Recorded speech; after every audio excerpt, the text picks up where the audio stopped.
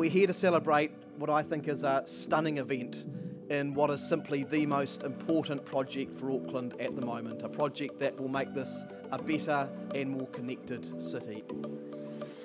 Big thank you to all of the people that have done the mahi uh, on this project, working above the ground, under the ground, to get here ahead of time is just fantastic. You can see the way in which we are developing our city, Tamaki Makaurau, as a world-class city, dealing with congestion, lowering those emissions and getting a system that will connect the whole city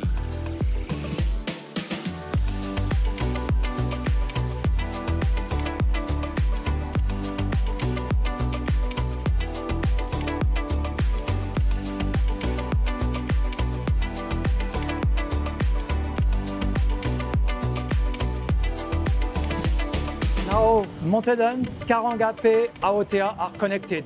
It's a very significant milestone for the project. It's the result of uh, very hard work from the team, commitment, despite all the difficulties that we have encountered during the past months.